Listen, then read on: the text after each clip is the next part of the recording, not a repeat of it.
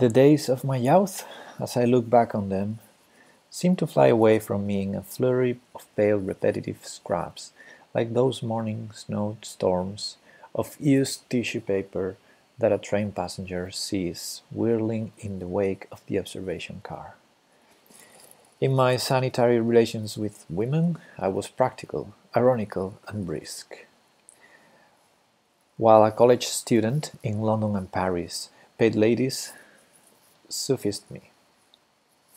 My studies were meticulous and intense, although not particularly fruitful. At first, I planned to take a degree in psychiatry, as many manqué talents do.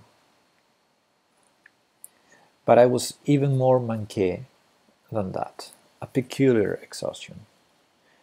I am so oppressed, doctor said in. And I switched to English literature, where so many frustrated poets end as pipe smoking teachers in tweeds. Paris suited me. I discussed Soviet movies with expatriates. I sat with Uranists in Deux Magots. I published tortuous essays in obscure journals. I composed pastiches. Fräulein von Kulp may turn her hand upon the door. I will not follow her, nor Fresca, nor the gull. A paper of mine entitled The Proustian Theme in a Letter from Keats to Benjamin Bailey was chuckled over by the six or seven scholars who read it. I launched upon an Histoire abrégée de la poésie anglaise for a prominent publishing firm, and then started to compile that manual of French literature for English speaking students, with, with comparisons drawn from English writers, which was to occupy me throughout the 40s and the last volume of which was almost ready for press by the time of my arrest. I found a job teaching English to a group of adults in Auteuil. Auteuil. Then a school for boys employed me for a couple of winters. Now and then I took advantage of acquaintances I had formed among social workers and psychotherapists to visit in their company various institutions such as orphanages and reform schools where pale pubescent girls with matted eyelashes could be stared at in perfect impunity, remindful of that granted one in dreams. Now I wish to introduce the following idea. Between the age limits of 9 and 14, there occur maidens who, to certain bewitched travelers, twice or many times older than they, reveal their true nature, which is not human, but nymphic that is demoniac. And these chosen creatures I propose to designate as nymphets. It will be marked that I substitute time terms for spatial ones. In fact, I will have uh, the reader see 9 and 14 as the boundaries, the mirror beaches of rosy rocks and rosy rocks, of an enchanted island uh, haunted by those nymphets of mine and surrounded by a vast misty sea. Between those age limits, are all girl children nymphs? Of course not. Otherwise, we who are in the know, we long voyagers, we nympholepts, would have long gone insane. Neither are good looks any criterion, and vulgarity, or at least what a given community terms so, does not necessarily impair certain mysterious characteristics, the fee grace, the elusive, shifty, soul-shattering, insidious charm that separates the nymphet from such coevals of hers as are incomparably more dependent on the spatial world of synchronous phenomena than on that intangible island of entranced time where Lolita plays with her likes. Within the same age limits, the number of true nymphets is strikingly inferior, uh, inferior to that of provisionally playing or just nice or cute or even sweet and attractive ordinary plumpish, formless, cold-skinned, essentially human little girls with tummies and pigtails who may or may not turn into adults of great beauty.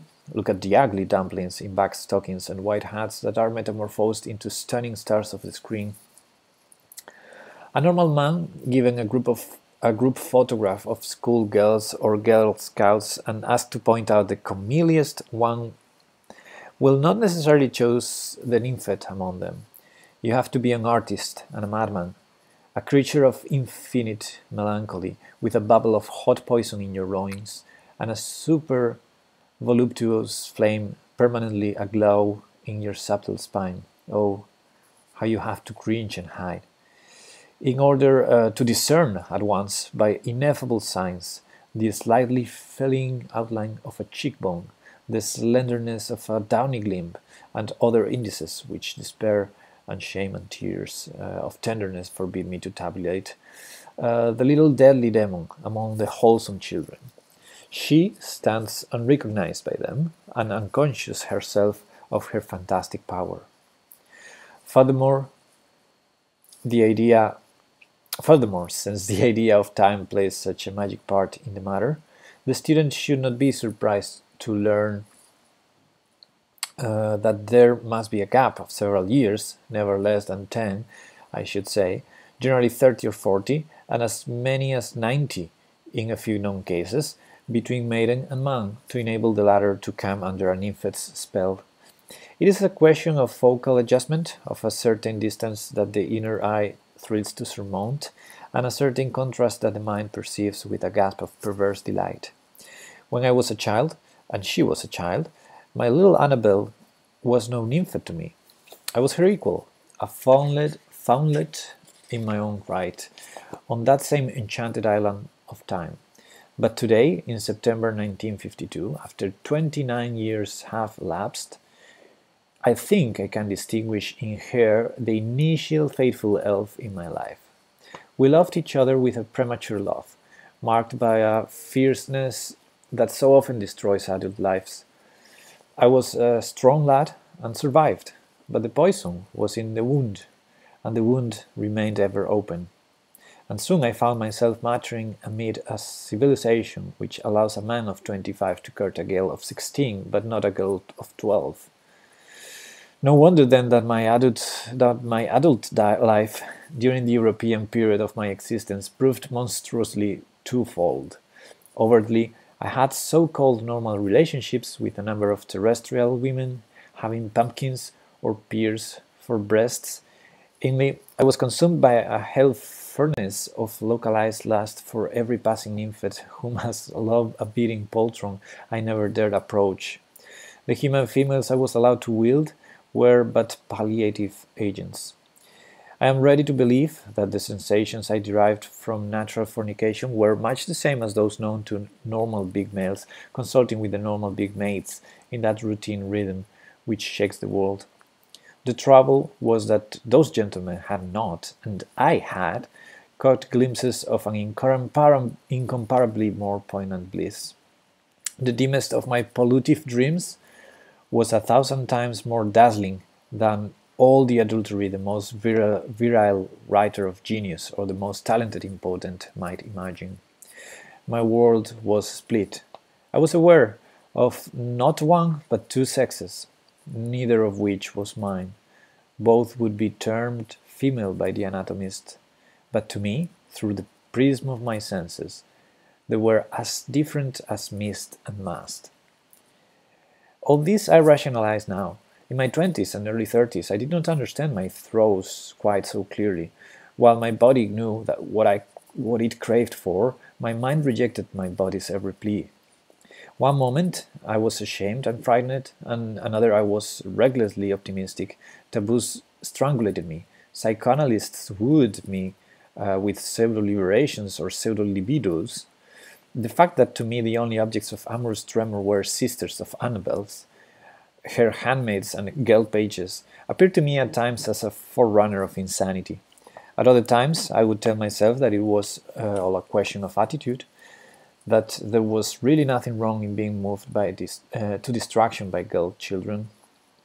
Let me remind my reader that in England, with the passage of the Children and Young Person Act in 1933, the term girl child is defined as a girl who is over 8 but under 14 years. After that, from 14 to 17, the statutory definition is young person. In Massachusetts, US, on the other hand, a wayward child is technically one between 7 and 17 years of age, who moreover habitually associates with vicious or immoral persons. Hugh Broughton, a writer of controversy in the reign of James I, has proved that Rahab was a harlot at 10 years of age. This is all very interesting, and I dare say you see me already frothing at the mouth in a fit, but no, I'm not. I'm just winking happy thoughts into a little teal cup. Here are some more pictures. Here's Virgil, who could the nymphet sing in single tone, but probably preferred a lat's perineum. Here two of King Akhenaten Akhenaten's and Queen Nefertiti's prenuptial Nile daughters. That royal couple had a little, of, a little of six, wearing nothing but many necklaces of bright beds, relaxed on cushions, intact after 3,000 years, with their soft brown puppy bodies, cropped hair, and long ebony eyes. Here some brides of ten compelled to seat themselves on the fascinum, the virile ivory, ivory in the temples of classical scholarship, marriage and cohabitation before the age of puberty are still not uncommon in certain East Indian provinces. Lepcha old men in 80 copulate with girls of 8, and nobody minds. After all, Dante fell madly in love with his Beatrice when she was 9, a sparkling girl sorry, a sparkling girleen painted and lovely and bejeweled in a crimson frock, and this was in 1274 in Florence at a private feast in the merry month of May.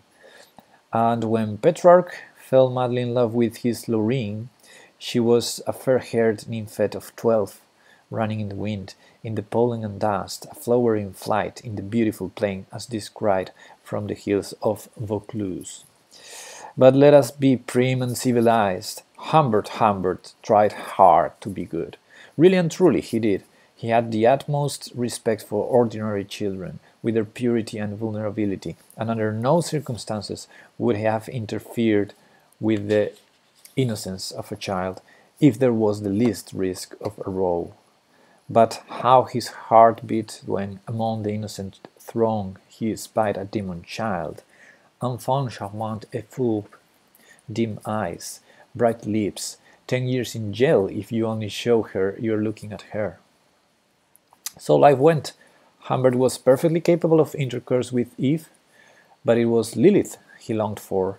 The bud stage of breast development appears early, 10.7 years, in the sequence of somatic changes accompanying pubescence. And the next maturational item available is the first appearance of pigmented pubic hair, sorry, pigmented pubic hair, of course, 11.2 years. My little cap brims with tittles. A shipwreck, an atoll, alone with a drowned passenger's shivering child. Darling, this is only a game. How marvelous were my fancied adventures as I sat on a hard park bench pretending to be immersed in a trembling book. Around the quiet scholar, nymphets played freely, as if he were a familiar statue, or part of an old tree's shadow and sheen.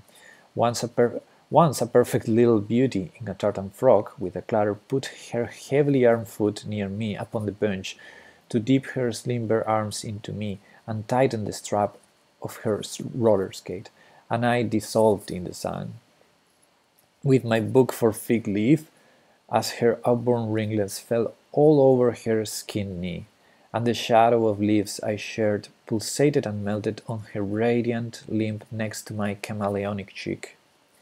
Another time, a red-haired school uh, girl hung over me in the metro, and the revelation of axillary russet I obtained remained in my blood for weeks. I could list a great number of these one-sided diminutive romances. Some of them ended in a rich flavor of hell. It happened, for instance, that from my balcony I would notice a lighted window across the street and what looked like an infant in the act of undressing before a cooperative mirror. Thus isolated, thus removed, the vision acquired an especially keen charm that made me race with all speed toward my long gratification. But abruptly, fiendishly, the tender pattern of nudity I had adored would be transformed into the disgusting lamp-lit bare arm of a man and his underclothes reading his paper by the open window in the hot, damp, hopeless summer night. Rope skipping hopshot, hopscotch, that old woman in black who sat down next to me on my bench. On my rack of joy, a nymphet was growing under me for a lost marble, and asked if I had stomach ache, the insolent hag. Ah, leave me alone in my pubescent park, in my mossy garden, let them play around me forever. Never grow up.